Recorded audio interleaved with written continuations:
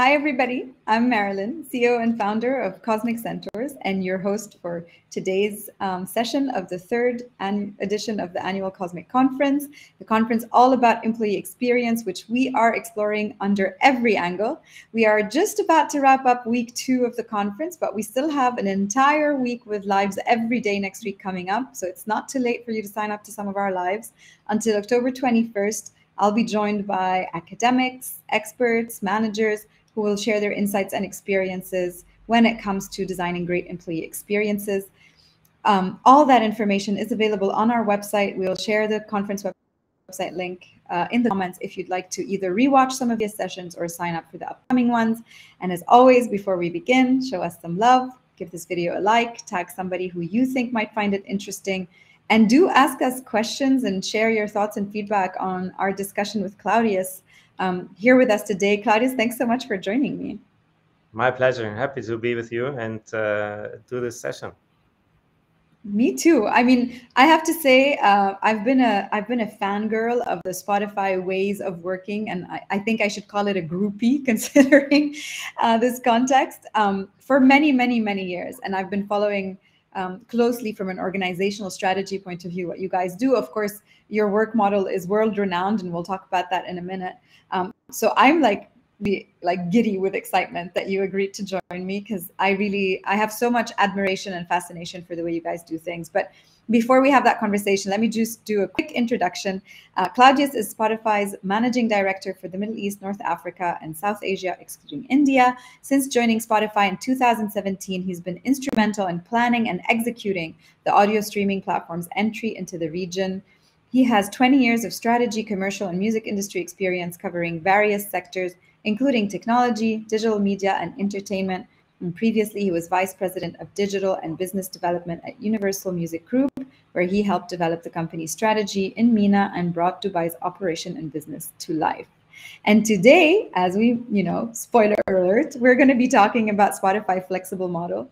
Over the years, we've really witnessed um, Spotify leverage flexibility uh, across its organizational design, leverage its values and its culture to offer truly, I think, one of a kind employee experience uh, to its teams or squads. Um, we're going to talk about that work model and how it contributes to success, and also truly how you're able to deliver this globally and at scale. I think that's what is incredibly impressive about um, Spotify's ability to do that. So I'm going to kick off with our, you know, first uh, first question, Claudius. Let's get right to it. Um, I mean, Spotify really does have a, a very human-centric view of flexibility.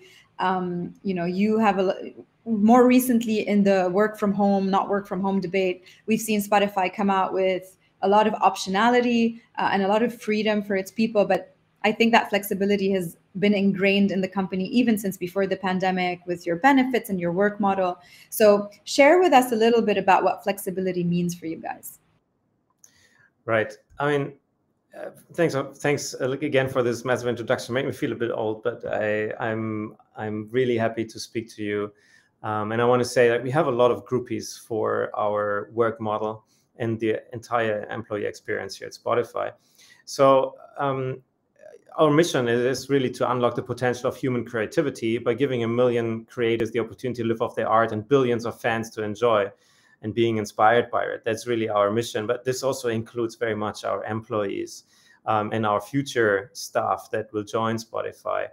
Um, and flexibility for us um, is not something that um, we are we are doing to attract more talent per se it's something that fulfills a business purpose. And this is really the, where it comes from. And um, our founder Daniel Ek has started in the very early days to identify like what are the flexible ways of working. So you're absolutely right in saying it's not something that we started just because of the pandemic. However, I want to say it also has accelerated. Um, and uh, one of our values is really to innovate, and I think we're really innovating in that space. Um, so it is definitely a key success driver, this flexibility. But also, it's not something that again, like was designed once and then we're working on it. You find a lot of culture models and, and principles that companies set up, and but flexibility is a very very broad term. So for us, this is all an evolution because we as humans we evolve right and the ways we work they evolve our preferences they change and evolve as well as individuals um, so um, the freedom to work where um, where we work best is really important. We believe spot uh, uh, work is not something that you go to; it's something that you do. Uh, and I think this is really essential. Um, we also, in in an ideal world, we can have people working truly from any place. Uh, however, there's also restrictions to that. There is tax, there is health insurance. There's a lot of restrictions in there, but we're trying to like maximize really the flexibility um, at this stage. Yeah, but yeah, in, I think. Result, um, why we're doing it pretty much is because we feel like people are happier and more productive. This is really the outcome that we that we see, and the whole the whole journey is not that easy, right? It takes a lot of investment from everybody to actually get into flexible models. And I, I don't know, late probably you're going to ask about it, but what are these models and how do they look in practice? Yeah, absolutely. I mean, the, the first thing I'll comment on this is that, you know, we've seen a lot of companies do um, over the last few months what we would call flex washing, you know, like greenwashing, but pretending to be flexible, um, saying, oh, you can work from anywhere or whatever. And then in practicality, they are imposing very strict guidelines. Uh, in terms of when to come to the office and how to, you know, if we're talking about work location as one attribute of flexibility. Um, I think what's really remarkable about the approach that Spotify has taken is also that you connected very strongly to that purpose of unleashing creativity, um, and and and both you know towards your musicians and your and your content creators but also towards your employees that feels like a very strong motivator to say creativity happens in different setups for different people. Um, people need different inspirations. Some will find it by coming to the office and chatting with a colleague, and some will find it by going to some retreat in the mountains somewhere. And we're open to creating that space. And you were saying that uh, the outcome for you guys is that you truly see an impact on your business. Can you talk a little bit more? Because otherwise, if you're just providing flexibility because everybody says you need to do that in the news, then really it won't be sustained. I'd really love to get your thoughts on that. Right. Um, so flexibility we also realize when we have new people joining um, some are yes you have these flexible working models what are they? They're very curious about it and um, but also we have a lot of people especially leaders that are being afraid. They are concerned about it. They say like okay if my team is not where I am i how are we going to work together? And these are really foundational questions that um, we we also allow leaders themselves if they then join to figure out themselves so within that flexibility is also a lot of room for improvement. And I can give you um, a few examples. Um, we are a tech company. So we also we, we are at the head of the game when it comes to using tools and technology. This can also come with a downside of a lot of noise. Um, one example, like my dad, for example, he he had like two suitcases to come home from work many years ago because um, if you go home, usually you don't continue to work, right? So he like brought paperwork home and worked. And I remember then when we had the first fax machine, um, I couldn't sleep at night because uh, he said we're getting a fax from Japan, and like this, this is just and this is crazy, right? So and like this is like was for me the first example when when work outside the regular work times reached us, right? So we're a global company, and the noise is there. There is emails coming all the time in and out. Um, and uh, that flexibility that people feel like oh they need to be on the emails all the time especially new starters but this is really not the case. You decide when you work. This also encourages people to develop a very good discipline for themselves manage their work life balance at a larger scale. We're not saying it's easy but it it, it, it unlocks so much in, in people talking also about like the time that they carve out for themselves. School runs whatever it is and talk about this. I can't, I take a school run. And it leads to a lot of acceptance that life is there. Because if you think about it, when we talk about work every day, uh, meetings, etc., um, the life is still happening outside of the work, right? And it matters to us a lot. So we see that. So it's, it's more of a journey that people also take on when it comes to flexibility and then kind of really um, embracing the flexibility that they have in there. Um, I, I refer to technology. So it's about the tools that we have. Um, mm. We use Slack, for example. We use a lot of other platforms in order to communicate and efficiently. We are working in documents. So it's also we are, we're prioritizing asynchronous work to allow this flexibility so that no one feels pressured, right? you need to over communicate on deadlines, but give sufficient times when there are certain deliverables to be expected. But then you allow the team members and people to tune into that work and lean in when they feel there's the right time. Yeah, absolutely. I'd like actually to explore. I feel like I I know quite a bit because I I, I go to your blog and I read everything you guys post on that front.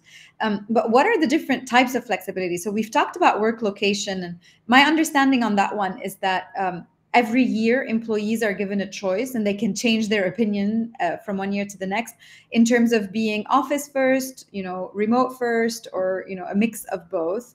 Um, and that allows you to also plan at scale you know your office capacities and things like that. So that's one form of flexibility that you guys have provided. What are the others that you would cite? Right. So I'll, I'll explain these models quickly. Um, and um, so it's like we call it one is the office mix the other one is the home mix like which is your, your more prefer, preferred solution. And part of that could also mean like look um, i want to work from a different location. I want to relocate to a different country because of whatever personal reasons you have or uh, and therefore we'll try to enable these things. Um, so uh, there's a few guidelines guiding principles around like try to be in the same same time zone. If your team is in the in a certain time zone. You just need to like accommodate so that you can collaborate with them at least most of mostly in the same time zone. Um, but this also leads then to a lot of change in the workplaces that we are building in terms of offices. Um, in dubai our office we started off with, a, with two desks then we went to four. Now there's a lot. Um, and um, we are we are um, not creating many more as we grow very fast we're not putting many more workstations in there we're just building more collaborative spaces. Because i think it's something that we all learned is that you don't need to be in an office to work on emails and contracts. However we have employees that decide no i want to do that. Um, we have engineers that say i want to be at home at all times. We have engineers that say no i want to be in an office so that i switch off. And that is abs- everything is perfectly fine um, so we cater for this. It's our responsibility. But also in the offices, we have, we have more collaborative spaces. Now, what we realized also when we asked people, please make a decision, um, it created ripple effects. So you had teams saying, okay, what do my, does my other team members decide? Do they now work more from home? Um, and then they, they think immediately about collaboration. How do we continue like high levels of belonging and collaboration and uh, efficiency and output moving forward? And um, there was a lot of chatter. I just shared this experience with you. There was a lot of chatter, and then within one team, within each team, and then each team talked to the other team, etc. And then asked me what they should do, and it's like it's just not, you know, we we quickly made the decision. Just try what you think is right, as long as you prioritize really collaboration um, and and well-being, literally, also for the for your colleagues, for team members, because we're here for each other. And so we said, like, also if you decide on the home mix, still the office is there for you. Want to work from there, just come in. So and also we encourage people to try the different ways. We also see downsides as people that go into home mix and they they struggle with mental health, they feel disconnected, feel not involved enough because it also takes a lot to then stay engaged, be active, be on the on the more digital platforms in order to stay with the team. So what I'm saying here is that flexibility is not just a, a, trashy term for us. It's something that we want everybody to try out, to experience. And this goes to one of our, core, our five core values, which is to really innovate. We want people to mm-hmm. innovate um, the way they work um, and the way that we work, literally on a on, on a very frequent basis. Yeah. yeah, and I think as you mentioned, there's no one answer fits all. Um, flexibility is about providing optionality and then hoping, you know, treating your employees like adults who can make good decisions for themselves for their teams. And then as you say sometimes helping them to manage the downside. I think uh, you guys have a wellness week coming up. Um, i know you're very vocal about uh, that balance for everybody in your uh, in your organization. Um, and i think there's a lot of that care that i see in in how to treat people and how to make sure that um, you know they can bring their full selves to work but they're also helping you know being helped to manage the downsides of flexibility. There is there is always um, some comfort in no flexibility you know um, to, I, I do appreciate the opposite view which is sometimes just being told what to do is just easiest for everybody. Flexibility creates a lot of overhead and having to to manage all of these different questions of focus time and brainstorming and team connection and human connection and actually i was wondering if you could talk to us a little bit about how you maintain human connection in this kind of environment. Do you have any rituals in place? Uh, how does your team kind of come together and, and how do you keep them connected to each other? Yeah.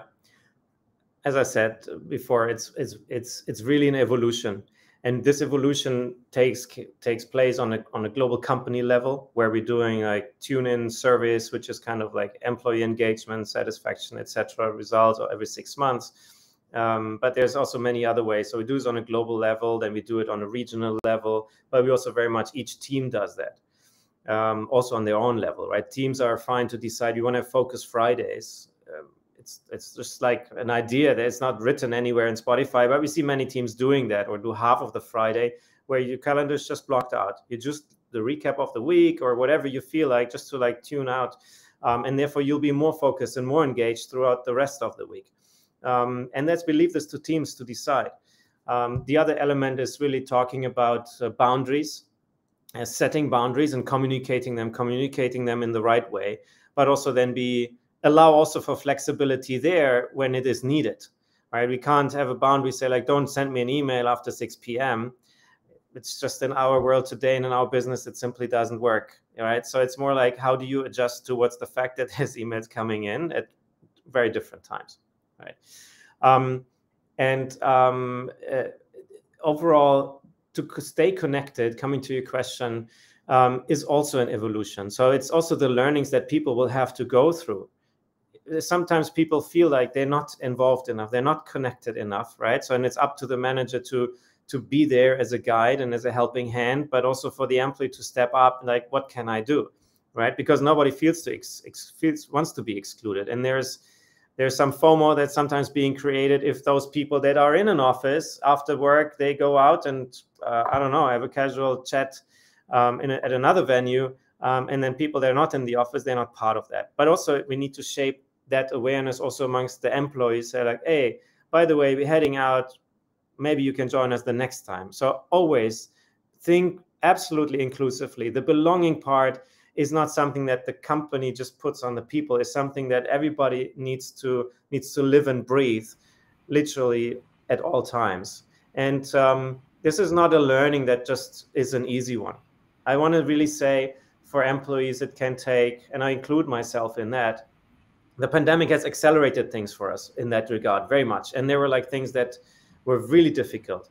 Um, but it can take one to two years for people to like go into this. And also like you know it's, there's also constant change because sometimes projects demand that people grinding more together and just use flip charts together like behind yeah. me. Um, yeah. and then you don't want people to and say like not ask each other can you please come to the office? So it makes it easier. No ideally somebody says let me come to the office so we do it um, yeah. But again, this is uh, this is it. Uh, sorry, your question was also how we stay connected. Again, it's it's through technology, but also through the social connections. Um, you mm-hmm. mentioned wellness week. I think we started for the first time last year. It is truly magical because you know this is the time where there is no emails. I refer to that; they might come at the night. Uh, where it's really down and really people can focus to switch off and don't fear okay i'm missing out or there's stuff happening that i'm not aware of um, but there's a lot of other things that we do um, uh, on the on the social front. Give people the opportunity to connect. There's a lot of tools that we use to virtually connect. Um, it's it's been, from my point of view, not a replacement uh, versus like bringing people together in person. Right. This is why we are we currently thinking also about like offsites are coming back. Are we sending mm. hundreds and hundreds of people across the world to go to offsites? Um, and um, it's a it's a tricky line to walk, also from a sustainability and uh, environmental point of view. Um, but the, the human connection uh, requires also that we have the connection at least like if there's teams really very much abroad they need to meet once or twice a year in person this connection there's a, there's a magic in that that um, that's that really supports the output in the end yeah, absolutely. Yesterday we had uh, Chase Warrington from Doist, who is a fully remote company, always has been talking to us actually about offsites. And you know, fully remote organizations always dedicate a big chunk of their budget to actually bringing people together in, in real. Uh, I don't want to say in real life. Let's say away from the keyboard, because it's still real life the rest of the year. Um, and I also I really appreciate your point in saying, you know, the burden isn't just on management. The burden is on every individual to be reflective um, and to think about how they're bringing themselves and how they're engaging with others. Um, you know, a, a question I, I, love to kind of uh, sometimes start some sessions with when I'm working with leaders or teams on employee engagement. Um, and I say, like, whose job is it to keep you engaged right now, mine or yours? And I think it's always everybody's job um, to contribute. And so I love that you're putting responsibility back on every single individual. I think that's that's what it means to treat people like adults is that they get the plus side, they also get to be responsible for managing it. And I think also you've mentioned your values quite a couple of times and i love that. I love people who you know in organizations where you're always bringing up your values because it means they're really core to to how you guys behave every day. You have a band manifesto that documents these um, and clearly they're alive in the way that you um, that you operate on a daily basis. Um, tell us more about how being you know purpose driven and very connected to your values has shaped uh, the employee experience and the way that people engage with each other yeah, I'm happy to do that. Uh, also want to like add to what you just said. It's about when you put the responsibility of engagement, collaboration on literally everybody, you drive for empathy. You drive for being connected. Um, you you also um, uh, enable that people are more transparent with their work and the questions they have. Right? Did you receive this or like over communicating of what's going on? Um, up and down and left and right. So um, there is a lot of positive and great benefits in this um, if, if it's done right, but it's like a muscle that needs to be trained. So yeah, and our values and they're, they're truly our guiding principles for us, and but also very much for our partners. We openly speak about them, and I encourage everybody to look them up. Um, I feel they're really strong, and uh, so we wrote this band manifesto, and we feel across literally all our across all our regions and offices we think of ourselves as a band, right? Like a band, we're dependent on each other. We just one person can't do what we're doing, right? And uh, um, together we create the best audio experience. That's what a band does as well. And like a band, we need to be in sync, right? And when we when we prioritize um, asynchronous working, the, the the need to go into sync more frequently um, is just so very important. And so it's, a, it's, it's kind of the trade between the flexibility uh, when we need to be more to sync each other with each other. Um, and like successful band, uh, we have a set of rules, um, and this is our band manifesto. It keeps us focused uh, on where we want to go and guides us on, on how to get there.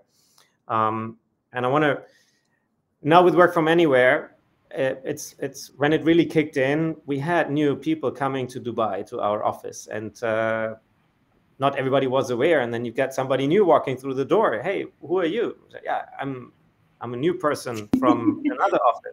Welcome to spotify. No i work at spotify since six years. Um, and um, then we integrate those naturally right? You go for a fika is what we do as a swedish company but it's literally a, a catch up where you go for lunch and it is it is amazing because the culture is exactly is absolutely identical um, also, we relocated teams uh, due to current situations uh, in Europe and to different offices, etc. And we had like complete teams coming together for a gathering, and uh, some people were in tears by realizing is you have the same ideas you're just going have the similar approach about these things and this is this culture is so strong that people cried. Me myself i have to admit it. It's just wonderful to see. So um, it's it's really that the spirit of our people across all our offices is pretty much pretty much in sync. Yeah. So that's that's the result of our band manifesto. Yeah that's absolutely magical and when you manage to to create that for an organization i know that it can move mountains. Um, one of your values you know talked about uh, to us about innovation. Another one is controlled chaos which i think is a is a really great term. Um, it definitely stands out. You know it's it's rare to see companies uh, put something like that as one of their values and i really appreciate it in today's world right? Uh, also yeah. i think it refers to creativity and other aspects of what you guys do. Um, tell us about this value. It really stood out to us when we were reading the manifesto. How does it help you scale? How do you balance, you know, the chaos that inspires innovation and creativity, but still, you know, being able to to all make progress and grow? Right.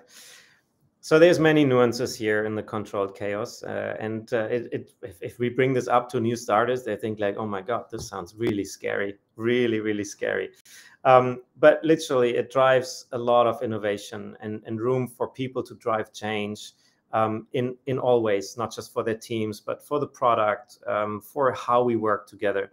Um, so the chaos um, that we find ourselves in uh, quite often um, leads us to challenge, and there's a lot of change that we constantly do, um, and in, in order to try new things, right? And we acknowledge that nothing has to be perfect. Also, part of that, another nuance is that we don't take ourselves too serious about it, right? We're not uh, financial in institutions, or I don't want to make any weird comparisons, but like um, it's about let's try something crazy, right? And this is really part of of that um, uh, chaos. So because you can bring you, you you start with something completely crazy, and then you bring some sort of control in there. And we also have like we do we work on the OKR models, for example. Um, to to help us guide and go through things and track the results. Right? We're obsessed with data. Right? There's billions of data points points being created on Spotify and uh, on a on a daily basis, and um, therefore we make really a lot of evidence based decisions. But on the other hand, we also uh, take an hypothesis and say we're going to try that, but then we track it. So there's a lot of when you see Spotify today, there's probably been 100 times more different versions of features being out there that were tested but they didn't make it in the final product right and this is this is really why spotify is the most sticky um, user music streaming service um, in the world today yeah, I mean, I remember reading about how you ship out features and how you use them in controlled groups, and and I think that that agility and that flexibility are one and the same, right? Like by having a flexible organization, flexibility around the ways of working, flexibility in in testing things out and trying them and see what works in shipping a feature to 50,000 users and then finding out whether it improves their experience or not. There's some they somehow feel one and the same. It's like an organic being and all of it is trying things out and experimenting. And what's really incredible is is your ability to maintain what is usually like a startup feel um, but then as companies grow, they start to slow down. We don't want to make any comparisons, but we can talk about other tech companies that where their employees are starting to feel that pain of saying like, oh, but it's not what it used to be. Now we have to go through seven layers of bureaucracy, you know, yeah. all of that. Whereas for you, it is really like a competitive advantage as an organization to be able to continue uh, iterating and experimenting at scale. At least that's, yeah. you know, again, I, I'm a fangirl. So from outside, that's what it looks like. I want to make an example to what you just said. Um, is that in the tech world you do a lot of a-b testing as you said right? We try this feature do a cohort how does it work there? Then we also do market research. Um, we gather a lot of data that's not just owned by us right? That, that we like, gather in on of, of markets and, and tech and infrastructure etc et um, um, but there's so much that you know but then when we spotify was built on algorithms those personalization the discovery of music um, therefore, we have now 433 million active users on Spotify, but it's literally 433 million different versions of Spotify because it's each one is unique. And it started with algorithms. Today, almost anything on Spotify is not really on algorithms, it's on machine learning. And what machine learning does, it assumes different chaos scenarios. So it does the A B testing literally on its own. It tries different hypotheses on its own and wants to be proven right or wrong. Um, and uh, th this is just so so the machine learning concept really is what we also want to have in our people very much, right? That we allow them to think really outside of those boxes that literally each human it's a human thing. We always try to be in the comfort zone and in our box and just have our friend but you know machine learning really unleashes that and breaks out of this continuously. And that's what we also inspire in our people yeah, and uh, I see one of your people here, Rhea, saying uh, she loves working in controlled chaos. It leaves room for creativity and playfulness. So we're getting an endorsement over here. A couple of right. questions from the audience before um, you know I take you to more questions that I have. Um, someone's asking us here. Marie's asking, how did flexible work change your leadership style? Oh, very much. If I if I may say from my side. Um, again, it's it's it's it's a journey um, as well, and I want to refer to all the things that I mentioned. Um, it's um, there, there's there's a bunch of nuances there. In Spotify, we're all very passionate. Is another value of ours is really being passionate, and uh, I think this is an easier, one of the easiest values for us because we're all here in this band. We saw so um, so so on fire for our mission. Um, but you know that also can come to that people are you know just spend so much time on work and there's so much in it and that uh, work life balance sometimes can get out of out of track.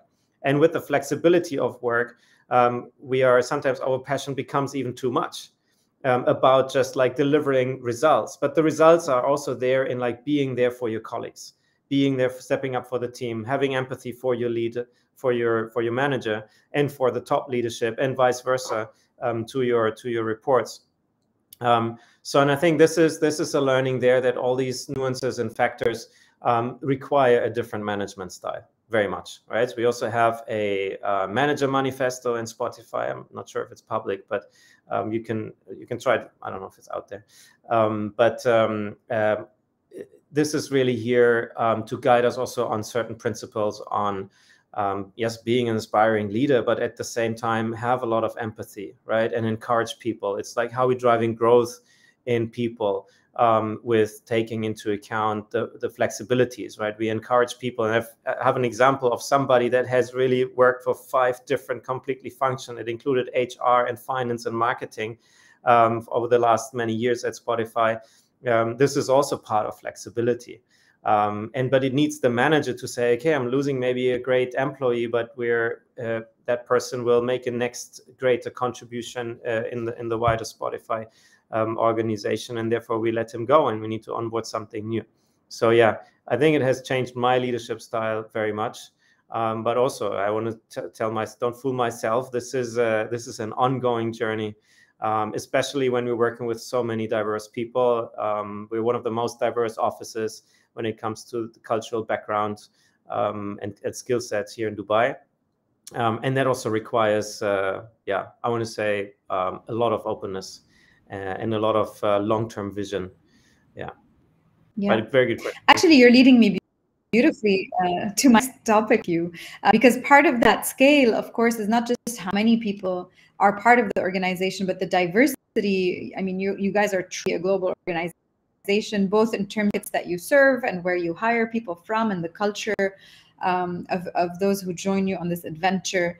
Um, how much of you know of your your core values your culture the way you operate is shared versus how much space do you leave for localizing and and having maybe some different approaches to work or anything else that might be more relevant. For example in this region um, you know we see that there's a i mean i've studied different organizations for example in dubai and i always say this that contrary to other countries there is actually much more demand from employees to be in the office let's say than you would find in the us over here uh, for many many different reasons. We can explore that but it, we're not like as much aligned with global trends as one would think.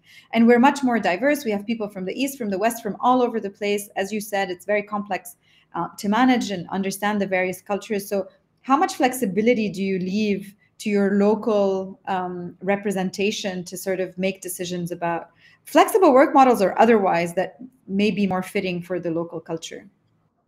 Look in the end it's all about output and performance also right? And and uh, this is literally why we're setting our uh, why we have our values and guiding principles to lead to generate the maximum of value and follow our mission. Um, and uh, i think there's a lot of room there. So if we see certain levels of performance going down or connectivity isn't there collaboration goes down um, then uh, we need to change clearly right? So there's a lot of freedom there. And i feel also our values are um, are very very clear but also broad right? And what you what you make of that um, as, a, as a leader for each team or what each squad makes out of it. And there's there's different operating models in the execution as long as the output is on a on a great level right? Um, but yeah there's there's some things that we see here I'm, i think we're blessed that um, when we reopened the office not many people wanted to come because they got accommodated at home, right? And uh, very well. And uh, or some people moved further away from the office, so they don't want to take the commute. Um, and if I may compare ourselves here in Dubai to other offices, um, we are actually doing really well. People come, um, yeah. some come once a week, some come twice a week. I come four times a week. and um, sometimes I don't come at all in a week, and it's it's perfectly fine. It just depends on what's just happening at the moment. Um, and uh, in other offices, yes, it's true. In other off- some other offices, there's less people coming to the office.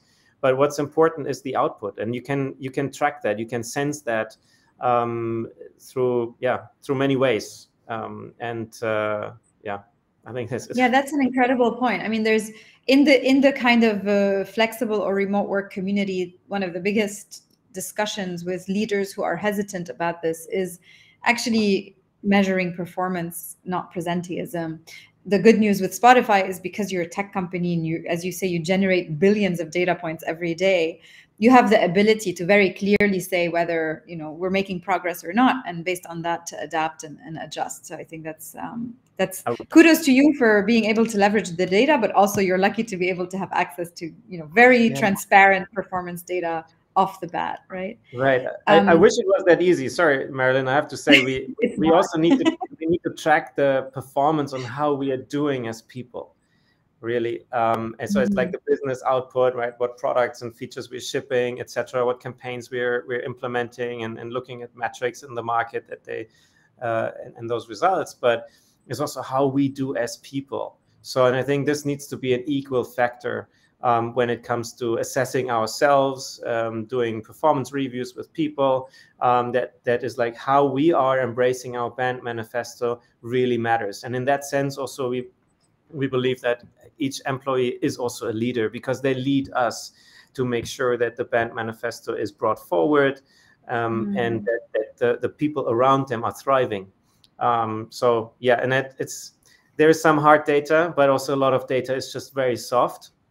Um, and uh, but that's just, just the, the, the reality and the nature of but actually I'd, I'd love to hear more about this so how do you measure that is it like employee engagement pulse surveys is it discussions is it just each manager kind of gets a sense of their team do you have a, a clear way of gathering this information again with a lot of flexibility there is a few things that are have become common practice so we do our mm-hmm. one-on-ones and the one-on-ones we prioritize first of all the the check-in um, around well-being, etc. Right? Because these that doesn't need to be a topic in each one-on-one, but you know, it's like it should be considered uh, at a first place, right? Talk about boundaries, barriers of execution, um, and so these this is one-on-ones. Then another thing is like twice a year we do a tune-in survey uh, with a bunch of questions, uh, completely anonymous. Um, and then we have also like hotlines uh, for questions. There's HR specialists. Uh, we have uh, teams for diversity and inclusion. Um, we launched Heart and Soul, which is our program around uh, well-being and mental health, which has been really instrumental. Um, um, and I give you an example. We we had uh, um, it was World Mental Health Day just this week, and we gave every opportunity, every employee the whole day, the full flexibility to focus on that. And we did a programming in each office. So we had different things here from yoga to meditation, sound healing. That was that was great. I love that. Um, massage and all different kinds of things. But then also there's sessions that we as managers can facilitate in a learning and development program to talk about mental health. And if you I've done this uh, with with my team a few times, and you look at, at the different potential mental health issues that you have you as a manager go forward and say like, okay, I had an issue here, here, here, and I put it all on the flip, actually that very flip chart here, and I realized, well, out of I don't know how many criteria it was, let's say 15. I mean, in 13 areas, I had mental health issues, right? So it's it actually like for new starters, it's like, wow, they talk about this. Wow, people are opening up. Right? This is this is really essential, and so this helps us a lot. This is another tool of like building a strong connection. Um, and then then you realize when people speak up about mental health you can support them better. Um, and in the end it's uh, it, it, helps you to assess people and uh, it helps you to actually like drive the performance up. So there's a lot of a lot of things. There's talent snapshots that we do on a regular basis um, yeah and so on. I just give you a yeah, few I mean, I love this stuff. These are the things that people come to us for. Like uh, in the conversation, is to actually hear about like uh, practical, pragmatic examples of the tools that you know the organization is giving them in order to do this. Um, are there any other uh, aspects of managing this at scale that you that you think are notable or that you want to share, or any other tools that you particularly love? Well, I think it's it's also important. I mean, guiding principles are key, right? And ideally, you have every employee believing in them. If there's a, a misunderstanding around values, etc., right? So then it is not a fit. That's also an important part. Um, but really, we as leaders, we have to foster an environment where people feel work is not somewhere where you go to, but something that you mm-hmm. do. And I think this is a, this is where a lot of the change starts. What the execution for other companies is like, it's really up to them. You find companies, the Google has a different approach. Microsoft actually had a, a approach like this many years ago. Um, I'm not saying it; they, they, reduced office space to save rent, um, but it was like it's with Microsoft. It's very common for many years that people work from home and come to the office once or twice a week, right? So um, every company has a has a very different, and there's a lot of companies that just like send the people back to work. Ah, that's an important one, right? Is you build the trust, and you you if if somebody withdraws through the fact that they now can work from home all the time, um, you you feel this, you get it, right? And then if there's yeah. a trust connection, um, then you can also like repair and improve the situation and drive the collaboration forward. But it it requires a lot of trust. This is why leaders struggle. I struggled with with that in the beginning with this with this big change and i think is natural so um, yeah building trust and fostering really a safe environment there is is key when you when you're trying to implement more flexible models yeah thank you for that I'll take one last question from the audience and then I'll take us to our rapid fire question. Um, Peter asks us How do you promote innovation and entrepreneurship in distributed settings?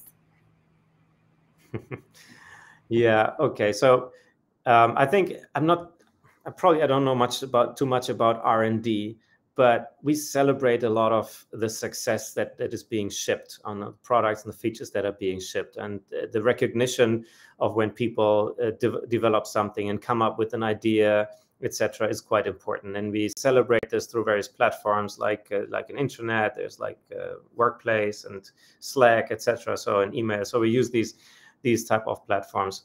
Um, and um, I think that recognition is is really a uh, to celebrate this properly is really how we pay the reward. But then also there is uh, um, it, this all goes in when people said um, on an uh, on, twice a year we do like a development talk where you work on a development plan. It's not mandatory, but most people actually do it. So they think how they can grow and learn and move forward and and and uh, um, in in line with the company objectives, right? And then the success becomes tangible and becomes right there. And this is also important that the clarity with the manager is there. So I always suggest and recommend doing this. Um, and uh, then the success will come and the rewards and recognition will come on its own if they're if they're visible yeah beautiful thank you so much for that and thanks for everything you've shared i mean i've learned a lot uh, even as a fangirl there's so much more for me to uncover and we've also posted the links to the band manifesto that includes part of the manager's manifesto. I don't know if it's all of it or some of it um, in our in our chat here. So for those of you who want to check it out, you can go ahead and join that link. And with that, Claudius, we are coming to our rapid fire questions. So are you ready for those? Let's do it. Let's do it. All right. So I'm going to give you four statements and I want to finish. I want you to finish the statement that I start. So the first one is a great employee experience is essential for sustainable high performance. I love that. Yes. 2000 times yes. The book every leader should read today. Um, sapiens um, from yeah. uh, Yuval Noah Harari right? There's yes. there's so many great business books out there written by CEOs but I think this one is really really really essential to understand human human background and connectivity couldn't agree more honestly. It's one of my all-time favorite books and maybe i'll uh, join a recommendation uh, to yours. Uh, a book that's very similar in how it's written and the storytelling but also the academic and anthropological research is a book called humankind uh, which seeks to prove that humans human beings are actually very kind beings. Um, and it's it's such a beautifully written book as well. So on top of sapiens that's my other you know favorite right. recommendation. The next one is the ideal workplace is anywhere you want it to be. In true Spotify fashion, uh, the secret ingredient to a great employee experience is having fun. Oh, beautiful. Thank you because so there's a lot of ingredients, right? But uh, this the fun part is uh, sometimes coming too short. Yeah, yeah, we all forget it. I'm the first one. I'm super guilty of that. I, I ask my team to remind me to stop being so serious all the time. so uh, I know, I know. Uh, I, I have gotten much better. I used to be like a very much like a you know an A student, and I I finish one exam and I'm off to the next. But I've gotten much better at stopping to celebrate. Um, in fact, one of our rituals, which I'm hoping we are going to do together as a team tomorrow, is that we eat ice cream or whatever snack you like uh, to celebrate, you know, positive news. So tomorrow we have a team time together, and hopefully we'll all be having some ice cream.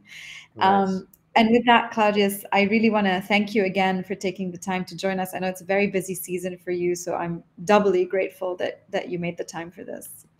This was wonderful, Marilyn. Thank you so much, and um, keep it up. And uh, yeah, enjoy enjoy the podcasts and the music on Spotify. Yeah, I, I, mean, I'm a big Spotify person, let me tell you. Uh, and of course, as always, you know, with every band playing, uh, the band is important, but the audience is just as important. So I want to thank our audience for having joined uh, me and Claudius today and for all your questions and, and feedback and positive reinforcement in the comments. Um, and one last item from me before we wrap this up. So, uh, like I said, we have one more week of our conference. The next session is on Monday at 9 30 a.m. Dubai time. So, start to your week if you happen to be late to work and you're driving somewhere, you can tune in. Um, we're actually going to be having a really interesting talk with Dr. Agustin Chavez. He's an architect and academic, and he wanted to test a theory that sometimes it's better to incubate an idea in isolation. So not in collaboration, but in isolation. And so he walked from Sydney, from Melbourne to Sydney on his own. He did a little pilgrimage to incubate an idea about workplace design, which is a very unique thing. And he wrote a book about it. So he's going to join us on Monday to talk about what he learned during those 42 days. Um, and then, as always, the team at Cosmic Centaurs is very busy working in the background to make all of this happen. So you know, make our day, go to our website, sign up to our newsletter, um, and let us know that you enjoy the content that we create. Thanks again, everybody, signing us out.